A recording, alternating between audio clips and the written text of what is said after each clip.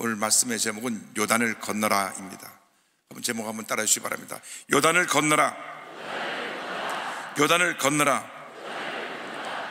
요호수아서 3장 7절 8절 말씀을 본 가운데 본문으로 택하여서 이 제목을 가지고 말씀의 은혜를 나누기 원합니다. 사람의 일생은 선택과 결정의 일생입니다.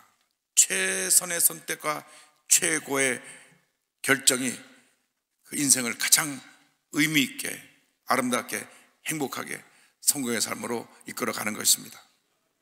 그래서 우리가 늘 하나님 앞에서 바른 선택과 바른 결정을 해야 됩니다. 이스라엘 백성이 드디어 하나님께서 약속하신 땅 가나안의 입구에 도착했는데 그 앞에 요단강이 흐르고 있었습니다. 이스라엘 백성이 가나안 땅을 정복하기 위해서 반드시 요단강을 건너가야만 했습니다. 여기서 머뭇거리고 다른 길을 택할 수도 없고 이 강을 건너는 것이 그들에게서 최선의 선택이요 결정이었습니다. 축복의 새해를 맞아 한 해를 지나가면서 우리 모두가 반드시 건너가야 될 요단강이 있습니다. 그런데 요단강을 그냥 건너가는 것이 아니라 건너가기 전에 우리가 철저한 준비를 해야 됩니다. 성경은 요단강을 건너갈 준비에 대해서 요사 3장 5절에 이와 같이 말씀합니다. 여호수아가 또 백성에게 이르되 너희는 자신을 성결하게 하라. 여호와께서 내일 너희 가운데 기이한 일들을 행하시리라. 하나님의 축복을 받기 위해서 먼저 내 자신이 주님 앞에 준비가 되어 있어야 합니다. 우리가 식탁에 음식을 내놓을 때 깨끗하게 잘 닦아놓은 그릇에 음식을 놓고 그 음식을 식탁에 가져옵니다. 그릇이 잘 씻겨져 있지 않고 제대로 깨끗하게 되어 있지 않은 상태에서 거기다 음식을 담을 사람이 한 사람 없습니다. 마찬가지입니다. 우리가 하나님의 축복을 받으려면 우리가 준비된 그릇이 되어야 되는 것입니다. 요수가 말합니다. 내일 하나님께 놀라운 일을 행하실 터인데 너희들 각자 각자 자신을 성결하게 하라. 하나님 앞에 쓰임 밖에서 우리는 늘 자신을 성결하게 해야 되는 것입니다. 이스라엘 백성이 출애굽에서 시내산에 이뤘을 때에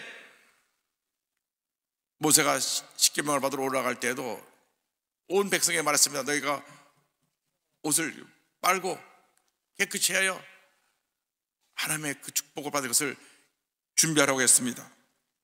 그렇게 19장 10절 11절입니다.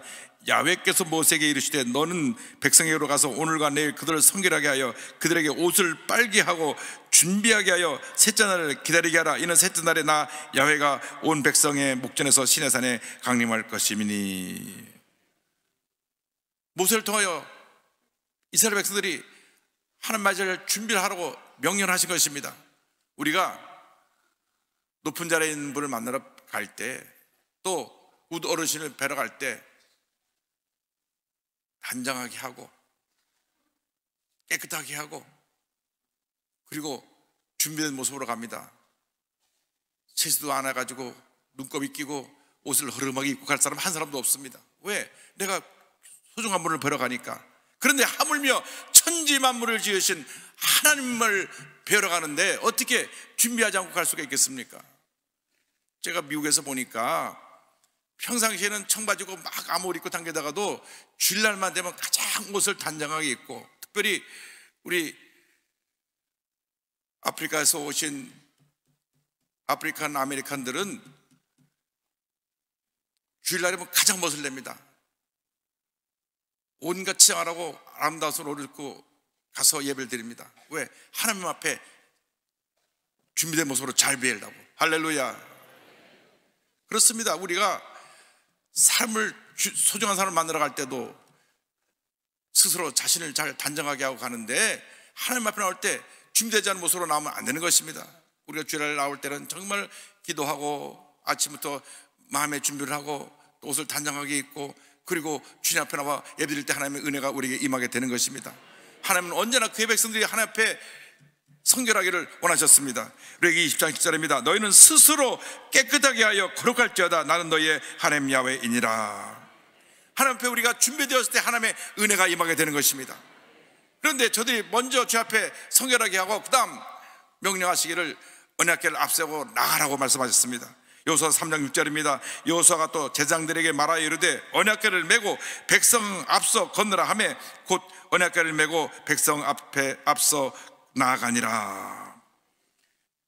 자신들을 다 성결하게 한 다음 그 다음 요단강으로 나아갔는데 요단강을 건너갈 때 언약궤를 맨 제사장들이 맨 앞에서 나가라고 말씀했습니다.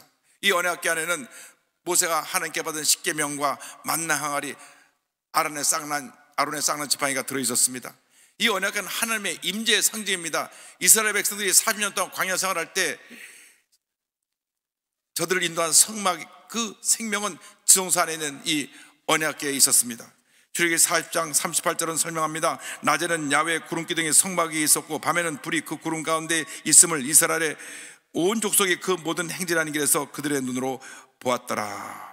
이 언약궤는 하나님의 임재를 상징합니다. 그래서 언약궤가 이 성막 안에 있었는데 지성소 안에 있었는데 성막에 구름이 탁 떠서 그 구름이 머물러 있으면 그들이 머물러 있고 구름이 앞서가면 저들이 따라갔습니다.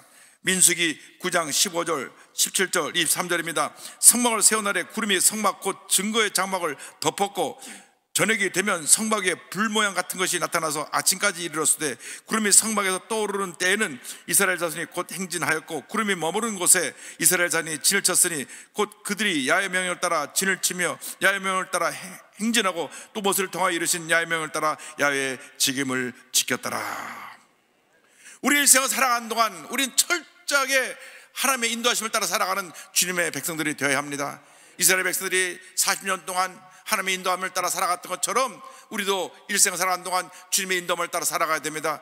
우리의 인도함을 따라 살아갈 때 우리가 가장 중요한 것은 말씀을 따라 사는 것입니다. 우리가 하나님의 인도함을 말씀을 통하여 받고 말씀이 우리를 인도하는 대로 따라갈 때 하나님의 은혜와 축복이 임하게 되는 것입니다. 무엇을 하든지 하나님의 뜻이 어딘가를 먼저 살리고 하나님의 뜻을 실천할 때 하나님의 복이 임하게 되는 것입니다. 그래서 마태복음 6장 3절은 3절, 3절은 말씀합니다. 그런즉 너희는 먼저 먼저 그의 나라와 그 의를 구하라. 그야만 이 모든 것을 너에게 더하시리라. 할렐루야. 주님께서 말씀하시기를 먼저 하나님의 나라와 하나님의 의를 구하면 먼저 하나님의 뜻을 구하면 먼저 하나님의 뜻이 이루어질 것을 간구하면 모든 것을 너에게 더하여 주실 것이다. 근데 사람들은 자꾸 자기 뜻대로 무엇인가를 뭐 하려고 합니다. 오래 신앙생활 한 사람도 하나님의 뜻보다 자기 뜻을 앞설 때가 많이 있습니다. 사도 바울은 위대한 하나님의 사람입니다. 그런데도 그가 본래 열정이 앞서서 하나님보다 자기 뜻을 앞세워 가려고 했던 적이 있습니다. 사도행전 16장 6절로 7절은 설명합니다. 성령이 아시아에서 말씀을 전하게 전하지 못하게 하시거늘 그들이 부르기아와 갈라디아 땅으로 다녀가 무시 앞에 이르러 비두니아로 가고자 때 예수의 영이 허락하지 아니하시는지라. 사도 바울은 2차서의 선교여행 때 소아시아 지역, 지금으로 말하면 터키 지역을 다시 한번 순회하기를 원했습니다. 이미 그것을 교회를 많이 세웠기 때문에. 그런데 가려고 하면 자꾸 막으시는 것입니다. 또 막으시고, 또 막으시고. 그래서 들어와야 와서 그가 밤에 잠이 들었는데 환상 가운데 마게다니아인이 나타났습니다. 그 환상을 보고 마게도냐로 건너갑니다. 사도행 16장 10절입니다. 바울이 그 환상을 봤을 때 우리가 곧 마게도냐로 떠나기를 힘쓰니 이는 하나님이 저 사람들에게 복음을 전하라고 우리를 부르신 줄로 인정함이라. 그래서 아시아로 가려던 발걸음을 돌려서 유럽으로 발걸음을 돌려서 온 유럽을 복음한 것이 사도 바울의 제2차 전도 여행입니다. 일생을 살아온 동안 언제나 주님 뜻이 어딘가를 살피고 그 뜻에 순종하고 그 뜻을 따라 살아가야 할 때 하나님의 은혜와 축복이 임하게 됩니다. 형통하게 보면 말씀에 순종할 때 우리에게 다가오는 것입니다. 내 의도로 살아가면 늘 우리는 문제를 만납니다. 실수도 하고 여러 가지 어려운 일에 처해서 낙심하기도 합니다. 그렇기 때문에 그럴 때마다 철저히 하나님 배 엎드려 회개하고 주여 나의 갈 길을 인도하여 주옵소서 하나님이 기뻐하시는 그 일을 따라 살아가게 하여 주시옵소서 그리고 주님의 뜻을 깨달으면 우리는 믿음으로 발걸음을 내딛어야 되는 것입니다 우리 필요한 것은 믿음의 역사인 것입니다. 우리는 하나님의 뜻을 깨달을 때 믿음으로 전제해 나가야 됩니다. 망설이면 안 됩니다. 주여 믿습니다. 믿음으로 나갈 때 하나님의 복을 주시는 것입니다. 머뭇거리다가 하나님의 받을 축복을 받지 못하고 그냥 문제 가운데 있는 사람 되지 말고 믿습니다. 아멘하고 전제해서 큰 복을 받는 여러분 모두 되기를 바랍니다. 이스라엘 백성들이 출입해서 나갈 때 앞에 홍해가 가로막혔는데 그때는 하나님께서 홍해를 육처럼 갈라서 그 홍해 사이를 육처럼 건너가게 하셨습니다. 저들이 홍해 앞에서 하나님 앞에 원망불평할 때 하나님께서 가만히 있어서 내가 너에게 하는 것을 지켜보아라. 그리고 홍해를 가르신 것입니다. 그래서 홍해를 저들이 건넜습니다. 그런데 저들이 40년 후에 가난 입구에 왔을 때는 그렇게 홍해를 가른 다음 지나게 하지 않으셨습니다.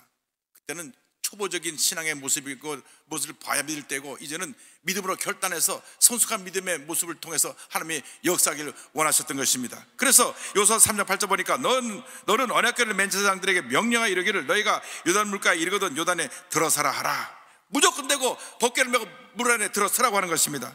물이 흐르고 있는 요단강에 먼저 들어서야 됐습니다. 그래서 발목까지 물이 장까지 들어서고 난 다음 그 다음에 강강이 갈라질 것이다. 그래서 복교를 맨 제사장들이 그 요단강에 들어갑니다. 한 걸음, 두 걸음 들어가는데 계속 물은 흐릅니다. 들어가서 발목지 물이 잠겨되니까 그때서야 물이 섰습니다. 멈췄습니다. 요서 3장 14절로 16절입니다. 백성이 요단을 건너려고 자기들의 장막을 떠날 때 제장들은 언약궤를 메고 백성 앞에서 나아가니라. 요단이 곡식 거두는 시계는 항상 언덕에 넘치더라. 물이 항상 차고 넘쳤습니다. 괴를 맨 자들이 요단에 이르며 괴를 맨 제장들의 발이 물가에 잠기자 곧 위에서부터 흘러내리던 물이 그쳐서 사라단에 가까운 매우 멀리 있는 아담 성읍 변두리에 일어나 한 곳에 쌓이고 아라바의 바다 여매로 향하여 흘러가는 물은 온전히 끊어짐에 백성이 여리고 앞으로 바로 건널세. 할렐루야!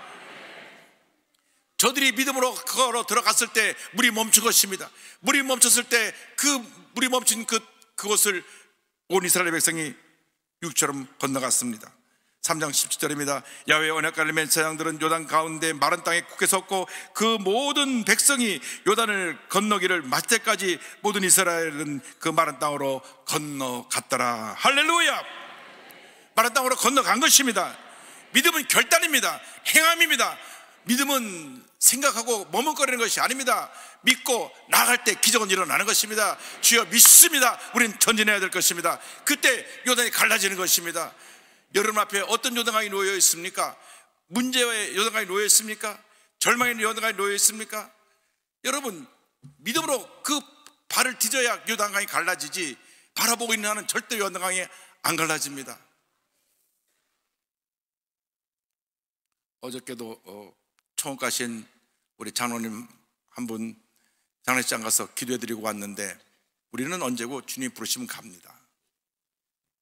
근데 우리가 장식할 때 며칠 후 며칠 후 요단강 건너가 만나리 그런 찬송을 부르는데 그것은 상징적인 의미입니다. 요단강이라는 것은 우리 인생의 마지막 건너가야 될 강이고 그 강을 건너가고 난 다음 우리에게 가난 같은 천국이 기다리고 있다. 그런 의미입니다.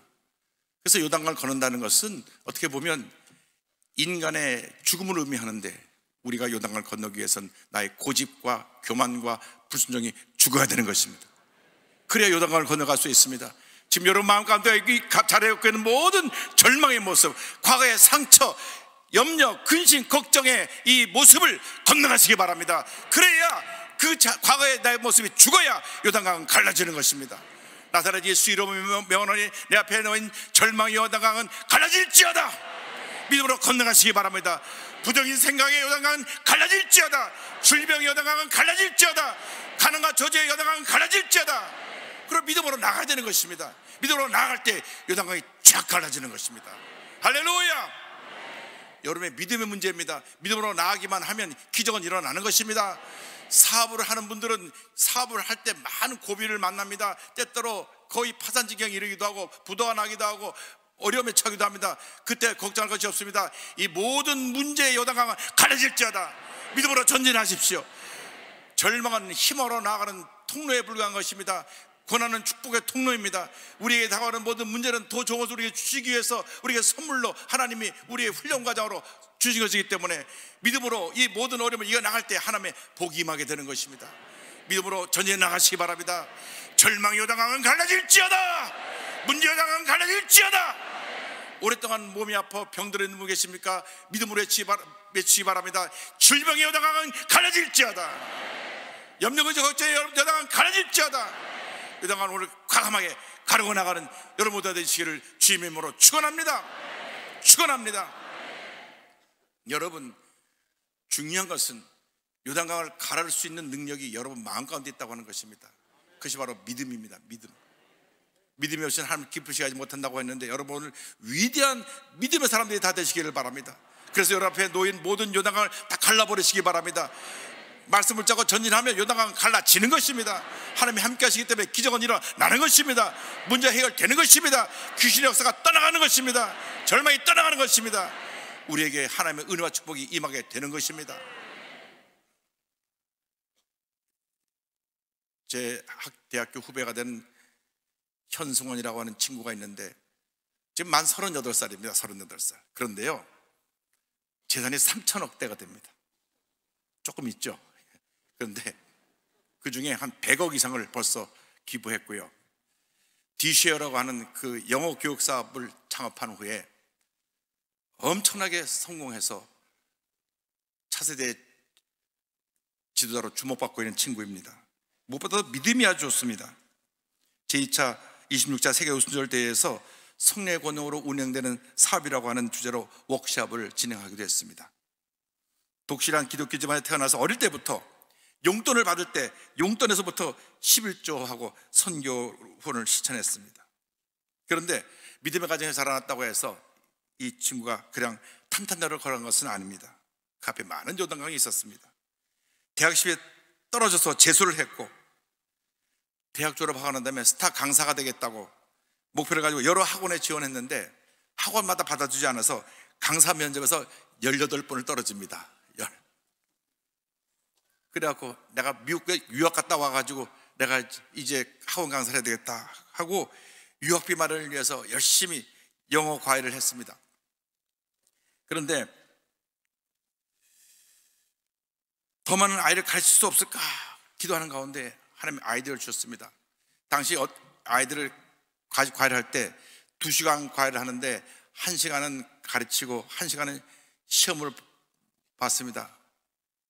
코로나가 오기 전인데 이 친구는 그럼 두 시간씩 앉아서 있을 필요 없이 한 시간은 온라인으로 하고 나머지 한 시간만 선생님이 가서 그 공부한 것을 봐주면 어떻겠나 온라인 오프라인을 연결하는 새로운 교육 방법을 개발해냈습니다. 많은 사람들이 아 이거 지금 다 학원에 와서 듣지 누가 온라인으로 공부를 하냐고 부정적이었습니다. 그래서 이 사업자 등록을 할 때도 아, 이런, 이런 사업은 듣도 보도 못했다고 코로나 전이니까요. 벌써 앞서간 것입니다. 코로나 오기 전에 벌써 온라인으로 교육을 시작했어요. 그래가지고 사업자 등록하고 밀고 나갔는데 하나님께서 복을 주셔서 146명의 강사를 두고 연매출 556억을 이루는 큰 회사로 성장하게 됐습니다. 할렐루야. 그동안에서 뭐 코로나가 오니까 다들 온라인으로 지금 따라오는데 이 친구는 벌써 그보다 훨씬 몇 년 앞서가지고 벌써 온라인 교육을 시작했습니다. 그런데요, 자기 간증을 합니다. 제가 중고등학교 때 성적이 하위권이었습니다. 어, 여러분 자녀들이 공부 못한다고 이렇게 낙심하지 마세요. 60명 중에 60등이라도 희망은 있습니다. 수능에서 영어 6등급이라고 하는 낙제점을 받았습니다. 하지만 결코 실망하지 않았습니다. 전능하신 하나님을 의지했기 때문입니다. 하나님의 자녀인 나는 대단한 사람이고 한국에서 엄청난 존재가 될 거야 라고 거울 앞에서 혼잣말 하곤 했습니다. 할렐루야. 하나님께서 복을 주셨습니다. 학교에서 성적이 하위권이고 영어도 6등급이고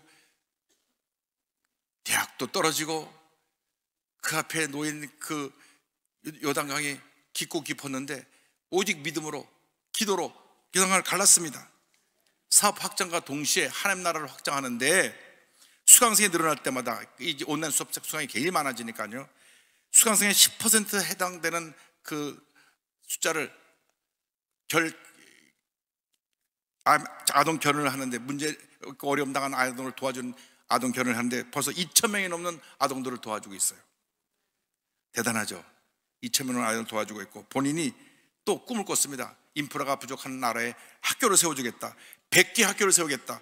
그래가지고 드림빌더 프로젝트에서 현재 캄보디아, 가나에 학교를 이미 세웠고 또 3호, 4호 학교도 어, 세워나가고 있습니다. 청년 한 사람이 하나님께 은혜를 받으니까 2천 명 아이를 돌- 돌봐주고 있고 학교도 벌써 두 개나 짓고 또 학교를 지으라고 지으려고 하고 있습니다. 이렇게 간증합니다. 제가 두렵지 않은 이유는 하나님이 내 삶을 인도하셨고 다 만섰기 때문입니다. 애초에 좋은 학력도 아니었고 애초에 배경 같은 것도 없었고 애초에 부유한 가정도 아니었기, 아니었기 때문에 제 삶 가운데는 감사밖에 없었습니다. 제가 한 것은 단 두 가지였습니다. 순종과 믿음. 주일 말씀하시면 순종하겠습니다. 주일 말씀하실 게 믿음으로 가겠습니다. 이것이 제 삶의 전부입니다. 할렐루야.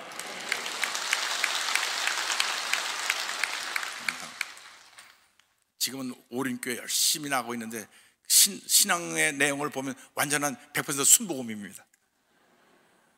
이 현승원 의장은 모두가 안 된다고 하는 불가능의 요단강을 믿음으로 건넜습니다. 지금도 기도를 창조하는 CEO로 살아가고 있습니다. 여러분, 우리 삶 가운데 하나님 이미 그런 복을 주셨습니다. 우리 마음 가운데 믿음을 심어 주셨습니다. 믿음의 역사를 가지고 나갈 때 요단강은 갈라지는 것입니다. 문제는 요단강 앞에서 머뭇거리고 두려워하고 스스로 움츠리고 주지 않기 때문에 아무런 기적도 일어나지 않는 것입니다. 여러분 위대한 하나님의 사람들입니다. 가슴을 펴고 2023년도에 여러분 앞에 어떤 있어도 요단강을 모두 다 갈라버리고 믿음으로 전진해서 여러분이 가는 그 모든 것이 그 어디나 한나라가 되기를 주님의 이름으로 축원합니다. 축원합니다. 축원합니다.